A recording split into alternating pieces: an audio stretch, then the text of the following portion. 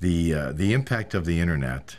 um, has been pretty astronomical over the last few years, and it's really represented by the fact that site selectors uh, and and clients will do a lot of their own research early on and never contact us, so we don't know that they're actually even looking at us. So the more information that we can have available, the better.